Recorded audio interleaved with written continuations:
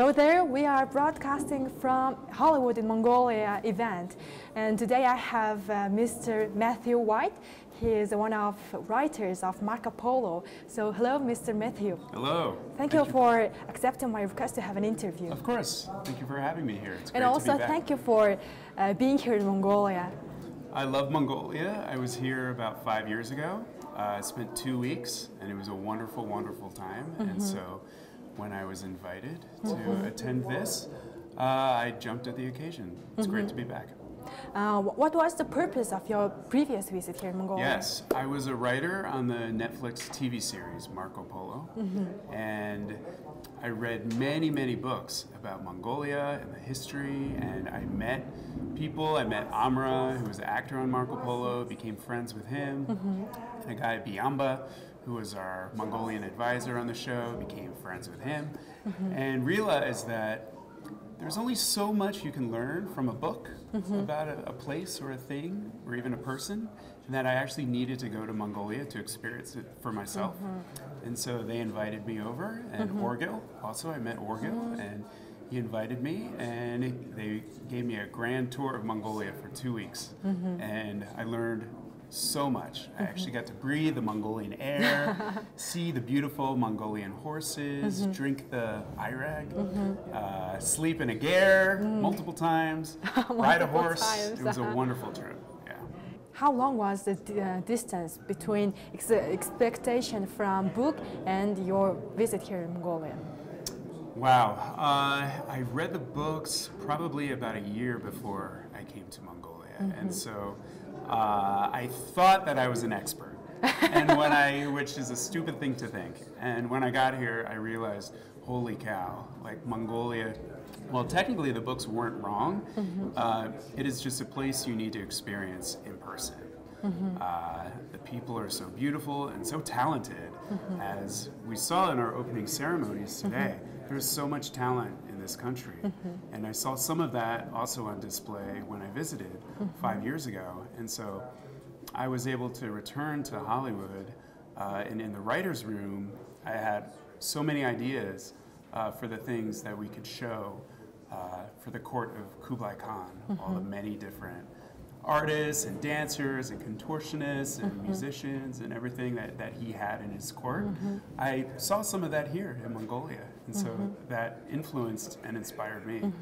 And it's really interesting that why you wanted to, to write about the Marco Polo film. I have always loved history, uh, but mostly American history. I was I knew more about American history, uh, and I spent some time in Asia after college, and I fell in love with Japan.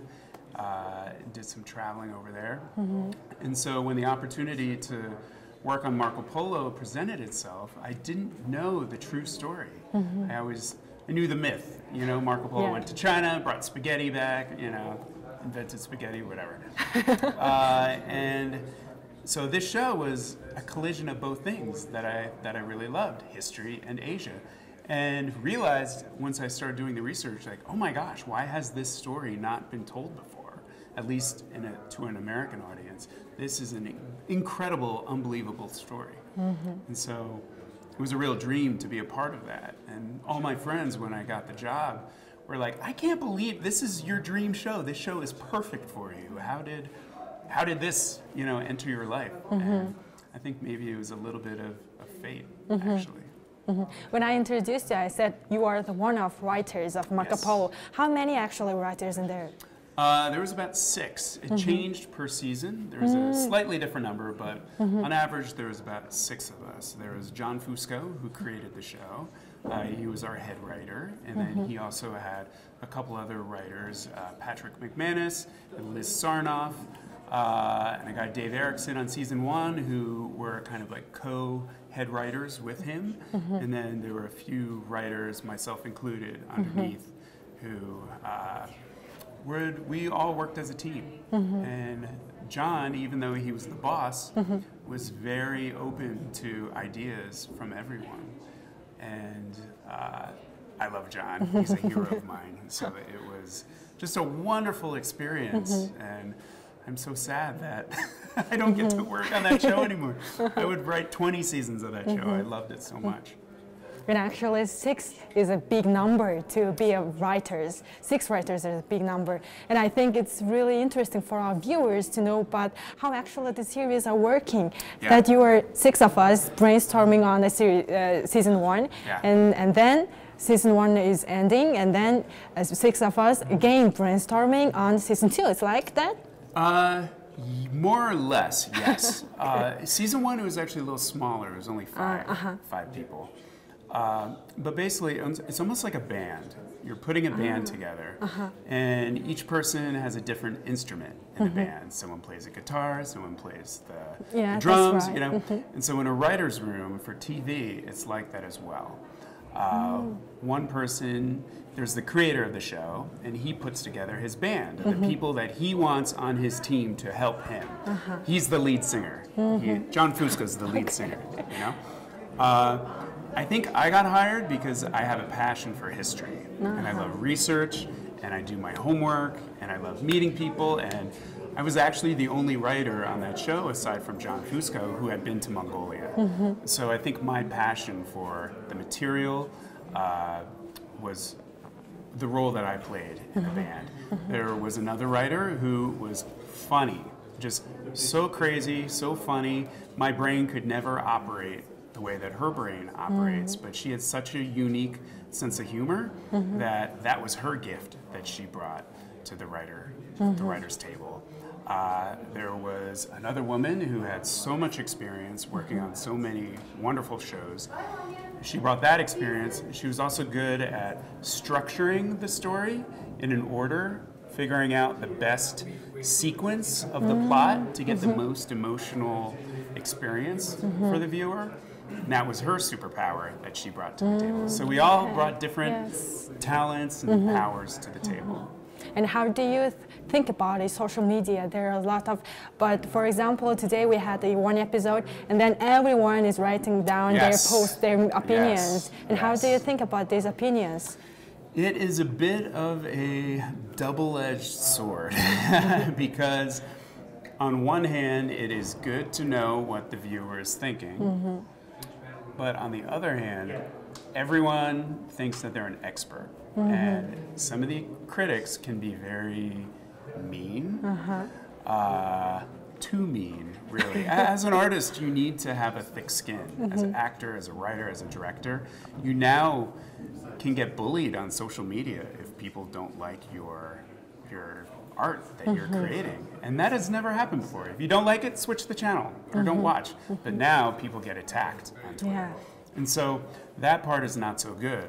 However, there can be benefits to knowing what the world and what the audience is responding to. Uh, for example, in season one of Marco Polo, we had Amra, mm-hmm. the Mongolian actor, mm-hmm. and Amra, we didn't we didn't know Amra. You know, we we met him through the show, and mm-hmm. he showed up and was incredible. He just brought this like Mongol, you know, authentic, Yeah. you know, Mongol energy, and killed it. Did an amazing job, and everyone loved him. He was such a great part of the show, but. He dies in episode two, you know? And had we known, you know, we probably would have made the story a little bit differently, but that's how, how things went. Uh, but Amra went to the Marco Polo premiere in New York with his wife, and they were dressed in the traditional. Mongolian, yeah, Yeah. yeah, the white, and walked the red carpet, and posted all the pictures with that look that he gives.